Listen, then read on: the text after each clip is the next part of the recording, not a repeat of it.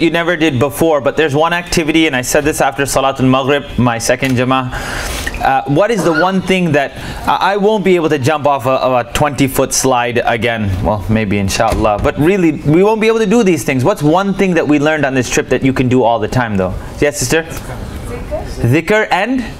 Dua. Ad-dua huwa al-ibadah. The Prophet Muhammad sallallahu alayhi wa sallam.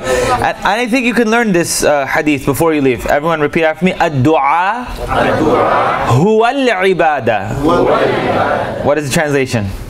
Dua is ibadah and Allah subhanahu wa ta'ala created us in order to ask Him. For if there were a people who did not sin and they were perfect, Allah subhanahu wa ta'ala would bring another group of people. So the biggest advice that I want to give you, and I said it in as many poetic ways as possible. I said there's a SIM card here. If you place it to the ground, you can speak to Allah. To my adults, please do your best to remember Allah subhanahu wa ta'ala. And remembering Allah also includes the time that you had when you were young. Many times you see us, maybe not myself, but you see other young kids, you're like, oh, look, they're making the same mistakes. I guarantee that you made the same mistakes in your time, right? And as you were growing older, you thought, you know what, I'm getting more mature. But I just read a narration on the way here about Umar radiallahu ta'ala an when he was the Amir of, uh, of the whole Jama'ah. He was Amir al-Mu'mineen. And there was a young Syrian boy. Why do I point this out? Because he was very well educated, very sharp young man who used to attend the halaqah. And I point this out because one day he didn't come to the class or didn't come to the sit down. And Umar radiallahu ta'ala an asked about where he was and everyone knows that the kid was drunk that young man just happened to be drunk. And if you think about it, if I told anyone in if, if you here, and I was missing for Isha, right? And Brother Faisal said, Inshallah, Brother Wisam's not making it, he's drunk. What would you think? We'd be like, yeah, we knew already. No, but for real, what you would think, right? Right, that got some reaction. Right? What you knew, what you would think, is we would automatically judge. If I heard it about you, I would judge. But Umar radiallahu ta'ala made everyone in the jama'ah say, make dua for that young man. He has great potential. Why? Because Umar radiallahu ta'ala never forgot about where he came from. He never forgot. So to the adults, make adhkar and hand down wisdom. وَلَقَدْ آتَيْنَا لُقْمَانَ الْحِكْمَةَ أَنِ اشْكُرْ لِلَّهِ That uh, Luqman, his hikmah was he didn't throw everything on his son at once. He gave principles. And that's all I can share. Whenever an older person corrects me, I tend to defend myself. When an older person gives me a principle and says, look, you didn't fork by it this time, but this principle, it will work for you in life. Stick by this. Uh, That's my small recommendation. And to the younger people, straight to the point. L2RQ.com. If I let myself go this weekend, if I smiled while yesterday while I was jumping around on the slide, if it uh, was today during jet ski or going 20 times on the slide so I could make my $20 voucher worth it. If yes, I did. I counted to 20, so it was a dollar each time. Long live. My parents will be proud of me. If I let myself go today, this weekend, and I did allow myself to smile, I had a hundred percent intention behind it. So that you could feel comfortable with what we do off this ship. Because now at L2RQ.com, you have 70 hours of work. It starts from the letters, it goes to the talking alphabet, then it continues with the entire 30th juz, then two and a half juz, two and a half juz of the most advanced tajweed in the Quran, then some vocabulary and some basic tips to memorize Quran.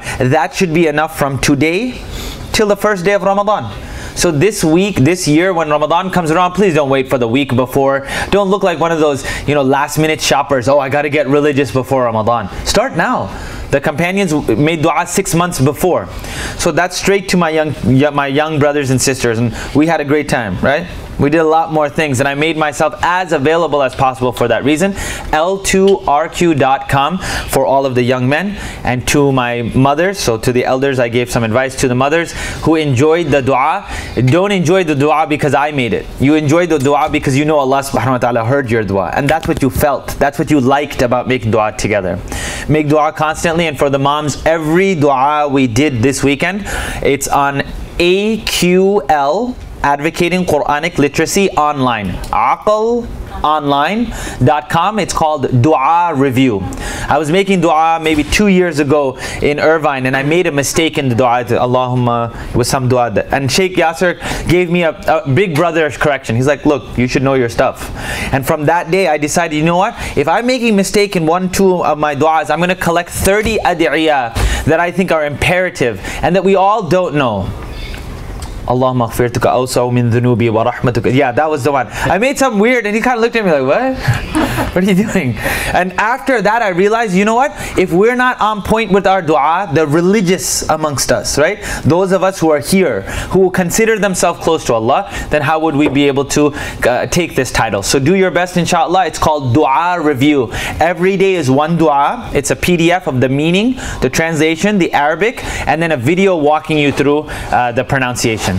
So to, uh, I think I left nobody out. Adults, inshallah, share your wisdom with us, please, through Young people, l2rq.com. And to my young sisters, I'm really proud of you. Alhamdulillah. I waited for the day where sisters would smile, have fun, still have hijab, but never have a perimeter of what they could do or couldn't do within some grounds. So I'm very proud of the young sisters who kept their modesty, but also had a great time and I'm very proud of you. Inshallah, keep on this path and tell your other friends. Not that I wear hijab and I'm proud I can do whatever I want. No, I am proud to wear hijab and I have fun within the bounds within hijab. Not I can wear hijab and do whatever I want right? But I wear hijab and I'm proud that within this scope, I can please my creator. So Jazakallahu khairan. I hope to see everyone again. Um, any jokes or something that push the adults, um, that's my personality. I will do my best to become I won't become more serious. But I'll do my best to be a nicer person. I never want to lose this part. Always smile. Allah subhanahu wa ta'ala uh, loves to see us happy. And um, to the uh, moms, if I push the buttons, adults, if I maybe pushed a little bit too much with the way presentation, the khutbah style could have been a little bit more formal, uh, then my apologies. One da'if hadith, definitely I narrated the second day and I should have pointed that out. Any other shortcomings? Uh, throw me a bone. Inshallah it'll be good. I hope to see you all again. Please keep reading quran. If you never see Salaam Cruise or my face again just read quran. And be bi'idhnillah Allah subhanahu wa ta'ala will take care of the rest and make dua for our scholars even those who are attaining to be the Grand Mufti of America. Inshallah please do your best to uh, I had to I had to. Make dua for them and their families. And jazakallahu khairan on behalf of my parents and my family. Wassalamu alaikum wa rahmatullah Assalamu alaikum wa rahmatullah. Jazakallah khair. Need to to you or him? You need? Okay. Again, I'll keep it very short. Um, before I start, I just wanted to share a story. Um, last year, we had one shahada. A lot of you heard um, that we had a shahada on the cruise. Alhamdulillah, um, this morning after Fajr, like uh, Brother Wisam does every day, um, you know, he was giving his lessons. After the lessons, he sat down, he told everybody, if you want to get into two small groups, um, you know, he would listen. While we were doing the small group, a brother came by. At, at, that point, he was not a brother. He was just a passenger. He came by and he sat right there. And he said, um, you know, he was just interested in what we were doing. He started listening. I stepped out, you know, started working in the other room. And Brother Majid was talking to him. And um, a few minutes later, I hear Brother Wisam giving some, you know, doing the Shahada in English. So I was like, you know, how did he switch from, you know, Fatiha to Shahada? It's like, you know, is he giving a Shahada lesson to all the Jamaat now? So I came back to see what was going on. I saw that Alhamdulillah, the person who had just come to listen was taking the Shahada. This is within a few minutes. So, Alhamdulillah, you know, we had a Shahada during this uh, voyage and you know, just shows Allah subhanahu wa ta'ala gives guidance, you know, to whoever, whoever he was, wherever he was. I mean, to, to think, you know, in a, in, in a cruise ship that, you know, that somebody would get hidayah. So, uh, you know, that was one of the highlights, something that we found out last year of the dawah effort that, you know, Muslims being around, like Sheikh Yasir Qadhi mentioned in Jummah. So alhamdulillah, that was one of the very, you know, probably the highest point of, of the cruise that, you know, that we were able to influence somebody, you know, to take uh, to take the shahada. Um, just uh, in general, I just wanted to, so first of all, so um, thank Allah subhanahu wa ta'ala. Uh, when you organize one of these events, there are a million things that can go wrong, from weather to you know, there's there's a gazillion things actually. And for Allah subhanahu wa ta'ala to keep everything in track for us so that we enjoyed this is is from his nama, you know, and we we thank Allah subhanahu wa ta'ala for this because we've weather, tornadoes, hurricanes, rain, everything could have gone wrong. And alhamdulillah, everything went perfect. So there's, you know, Allah subhanahu wa ta'ala deserves um, immense, you know, gratitude, alhamdulillah, that everything went well. Um, secondly, I do want to thank all our group leaders. Um, they have worked really hard in the background. Um, they're the ones who you know do all the works in the background so that when you when when things come up when events come up everything is in in order. So sister Nadine sister Maryam brother Shahrukh brother Mujahid Safiya my brother and uh, Shoaib. Uh, mashallah they did uh, an awesome job and you know they're the key you know that everything went smoothly. And um, there's two more things and um, finally to everybody who attended um, the fact that uh, most of you don't know me personally, don't know any of the team, uh, you took a chance, you know, by coming to this project. You know, you invested money, and um, you know, you believed in the project. So it means a lot to us. You know, the fact that you, you know, you believed in our project and supported us. So even though many of you are thanking us, you know, for our work, you know, we really feel, um, you know, grateful that you believed in the project and you came with us, and you know, you honored, you know, to be here with us. And finally, the two scholars we have, Sheikh Yasir Qadhi and Brother Wisam. As we said, their schedule is packed. Um, Yasir Qadhi is away from his family every weekend, probably of the year. Um, for him, you know, to do this for us, and same thing with um, with Brother Wisam, that they traveled great distances to be here with us, and to you know agree to do this for us. Um, you know, it's a great uh, honor, and we thank both of them. So, Jazakallah khair, wassalamu alaikum, and I will turn it over to Sheikh Yasir Qadhi.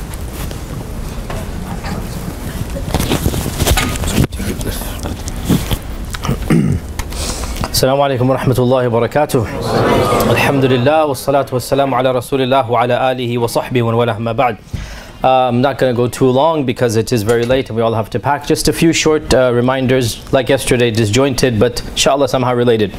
Uh, first and foremost, the whole concept of having uh, halal cruise. Uh, honestly, this is something that many of us would never have thought it, uh, possible. You know, a few years ago as well, I would have thought, how is this going to happen? But as especially parents here understand, it is really necessary that our children feel that they're getting a life and not being deprived just because of the religion. Because what happens is if they keep on being told, oh, you can't, you can't, you can't, the minute that they can, 18, 19, 20, khalas, they just go all the way. And we have seen, and every one of us knows families like this, right? And therefore, and I know, I know I'll just say something which is a bit awkward, but I know this is on the minds of many of us, that no doubt this cruise is not 100% halal. There's no, you know, ifs, ands, or buts about it, you know. We're seeing things and being amongst people that, yani, our hearts don't like it, right? And yet, I will tell you that frankly, I do believe that, especially for those who have children and whatnot, that this is the lesser of the two evils. That we make our children feel that, Alhamdulillah, they're allowed to do certain things within limits, so that by the time they get older, they know, you know what, our religion, just exactly as the Prophet said, when Umar said, How dare there be uh, the Abyssinians playing and the duff playing? You know, what did the Prophet say? Let the people know that there is some leeway in our religion right? So we're not doing this every day of the year, are we? Right? We're not doing this the entire time. This is something that we're doing for many of us maybe once every five years. Once these guys, okay, once every year. Nothing universal about them, right? That's their alhamdulillah, and we need them to do that, right?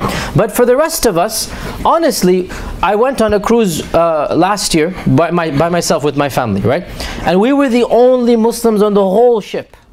Subhanallah, this cruise being 150 Muslims. We have separate sections of the island. We have the entire island last, uh, you know, yesterday. The entire section is ours. Today, okay, no doubt there was a few uh, people that, you know, were not a part of the group, but nonetheless, we never felt awkward with the hijab, with the with the prayer, with the beard. MashaAllah, we have our musalla area. This is about as good as we can do for now. The goal, as you heard yesterday, I'm not advocating, uh, you know, on their behalf, but I am sympathetic to their cause, right? I am not a part of the management of Salaam Cruise, as you know, but I'm sympathetic to their cause. Why? Because we as Western Muslims, as American Muslims, as Canadian, as, as anywhere Muslims, we need to make sure that we have a healthy balance. That we do not portray our religion as being unrealistic, as being haram, haram, haram right? And i say this as inshallah a person of knowledge and a sheikh that when you understand what will happen to the mentality of the child who grows up hearing for 20 years haram haram haram right?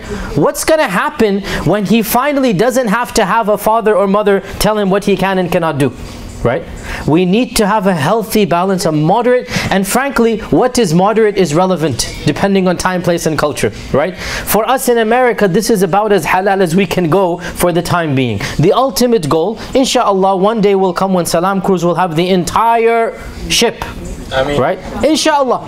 And when that happens, Alhamdulillah. But in the meantime, we're going to have to bear with this background noise, with some visuals that we don't like, right? With the third, fourth floor gambling. We're going to have to bear with it for the time being. This is the bitter reality. And by the way, by the way, our Prophet Muhammad sallallahu alaihi wasallam lived in a city where drinking was rampant, Mecca. He lived in a city where illicit uh, relationships were everywhere. He lived in a city where, according to the Quran, how did the people do tawaf? You all know. Did he run away just because they're doing tawaf like that? This is, I mean, at least these people are enjoying. Those people around the Kaaba, can you imagine how disgusting that is? Visualize that. La hawla wa la billah. Did he run away from the city because of this? No. Because why? He's a part of that city, correct? He is a Makki, he's a Hashimi, he's a Qurashi. And when he's expelled from Mecca, what does he say? After 13 years of bitter persecution, he says to Mecca, metaphorically speaking, that إِنَّكَ لَأَحَبُّ الْبِلَادِ إِلَيْ You are the most beloved of cities to me. Not just because it's a holy city, but because it is biladi. It is my land, right? And were it not for the fact that my own people kicked me out, expelled me, I would never have left you. This despite